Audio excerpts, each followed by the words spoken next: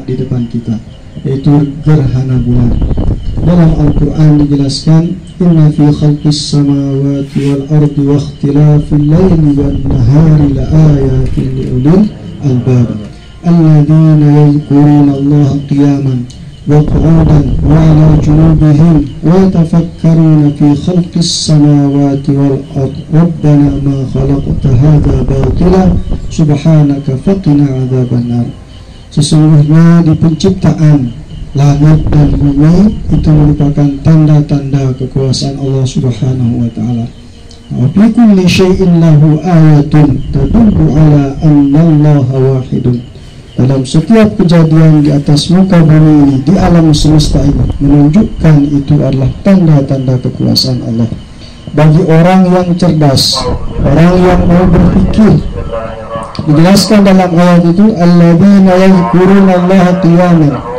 Jadi istilah ulul albab orang yang cerdas yang hidup mata batinnya itu adalah orang yang berzikir kepada Allah.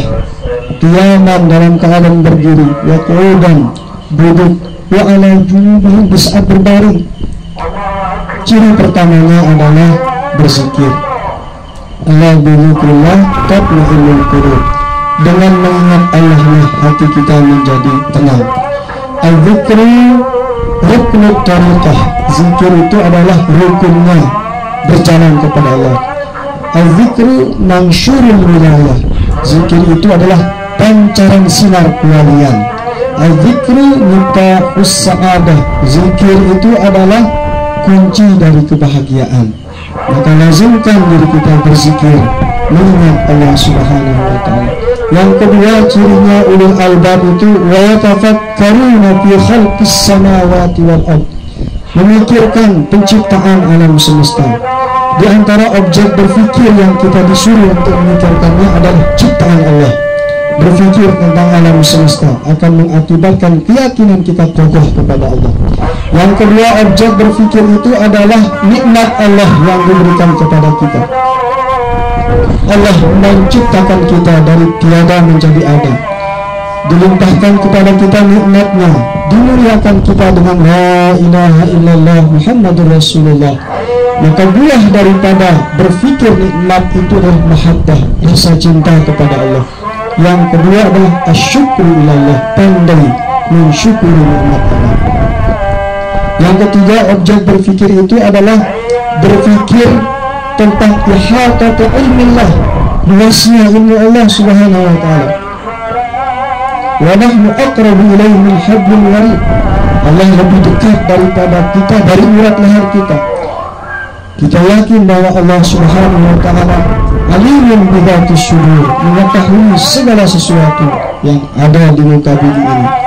Maka berfikir seperti ini akan menghasilkan hayat rasa malu kepada Allah sehingga kita terus menerus menjalankan perintah dan meninggalkan larangan kapan pun di mana pun. Yang ketiga objek berpikir itu adalah dunia wa mahaulaha memikirkan kejadian dunia. Cepat sekali dia hilang. Cepat sekali berputar. Nikmat-nikmat yang ada di dunia hanya sementara. Jadi kalau terus berpikir tentang ini akan mengakibatkan az-zuhdu dunia. Zuhud dalam dunia ini dan ar-raghbah fil akhirah senang kepada amal-amal akhirat. Objek berpikir selanjutnya adalah diri kita. Kita pikirkan taksiruna fi ada itu atillah kita sangat kurang melaksanakan ibadah kewajiban yang diperdukan oleh Allah subhanahu wa ta'ala kepada kita. Sehingga dalam diri kita akan muncul sifat ingin terus menerus memperbaiki diri kita. Oleh sebab itu maka pada kesempatan kali ini momen di mana Allah Subhanahu wa taala menampakkan kekuasaannya dengan gerhana bulan marilah kita tajdidut taubah memperbarui hubungan kita dengan Allah dengan memperbanyak taubat. Beristighfar mengakui semua salah dosa kita.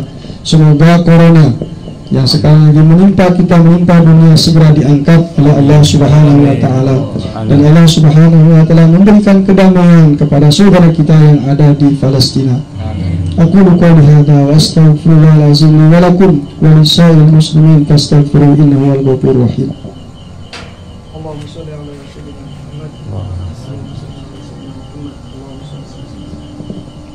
Alhamdulillah alladhi bi ni'matihi tatimmu salihat.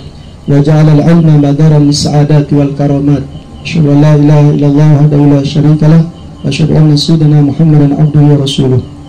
اللهم صل وسلم وبارك على سيدنا محمد في الأولين والآخرين. وصل وسلم على سيدنا محمد في النبيين والمرسلين. وصل وسلم على سيدنا محمد في الملأ الأعلى إلى يوم الدين. وعلى آله الأطهار وأصحاب الأخيار وأتباع الأبرار إلى يوم الدين. أما بعد فيا عباد الله. أوصيكم ونفسي بتقوى الله. اتقوا الله وأطيعوه وجاهدوا بأموالكم وأنفسكم في سبيل الله. واعلموا أن هذه الليلة ليلة عظيمة. تجلى فيها آيات الله إلينا. لذلك أكثروا فيه من الصلاة والسلام والذكر وقراءة القرآن والمذاكرة لدروسكم وقال الله تعالى في القرآن الكريم أعوذ بالله من الشيطان الرجيم. بسم الله الرحمن الرحيم. إن الله وملائكته يصلون على النبي. يا الذين آمنوا صلوا عليه وسلموا تسليما. اللهم صل وسلم وبارك على سيدنا محمد وعلى آل سيدنا محمد. ورضي الله على أربعة الخلفاء الراشدين وفي مقدمتهم سيدنا أبي بكر وعمر وعثمان وعلي وعلى بقية الصحابة والتابعين.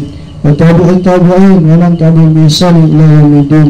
وعلينا معهم برحمتك يا أرحم الراحمين. اللهم اغفر للمؤمنين والمؤمنات. والمسلمين والمسلمات الأحياء منهم والأموات.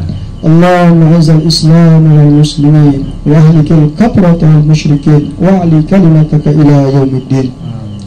اللهم منزل الكتاب مجري السحاب هازم الأحزاب سريع الحساب.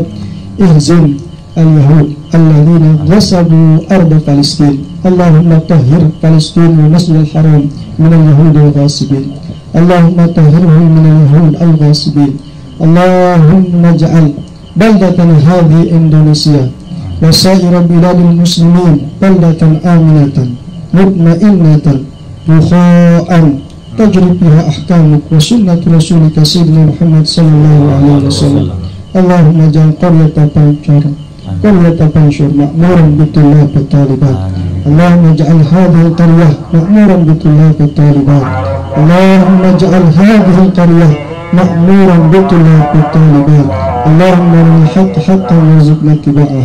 وارنا الباطل باطلا وارزقنا اجتنابه. اللهم اصلح ولاة أمور المسلمين أجمعين. ووفقهم لما تحبه وترضاه من نقوى العباد والبلاد يا كريم ربنا تقبل منا إنك أنت السميع العليم. وتب علينا إنك أنت التواب الرحيم. عباد الله إن الله يأمر بالعدل والإحسان وايتاء ذي القربى وينهى عن الفحشاء والمنكر والبغي يعظكم لعلكم تذكرون فاذكروا الله العظيم يذكركم واسألوه من فضل يؤتكم على ذكر الله أكبر والله يعلم ما تصنعون. السلام عليكم ورحمة الله وبركاته.